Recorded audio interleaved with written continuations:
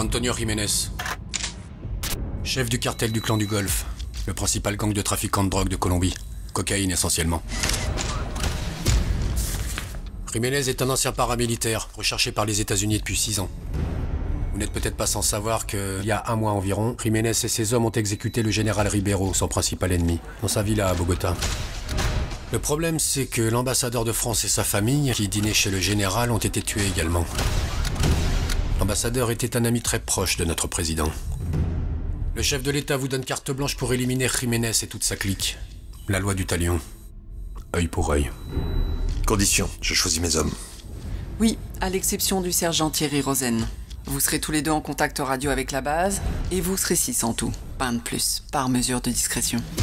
Jiménez et ses hommes se trouvent depuis peu dans une zone isolée au nord du pays, que la DGSE a réussi à localiser cette nuit grâce à un drone de reconnaissance.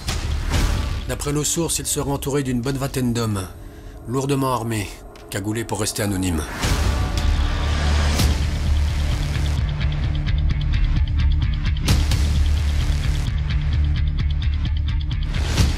Je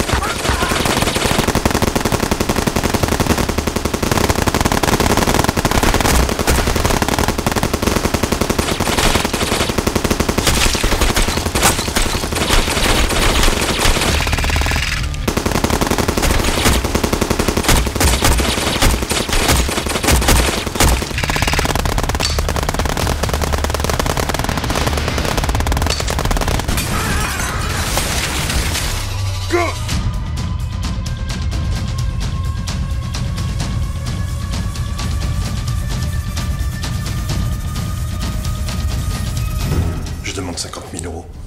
10 000 pour chacun des hommes que je recrute et 10 000 pour moi. Vous êtes très cher, le Goff.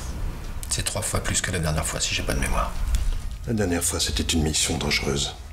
Là, c'est une mission suicide.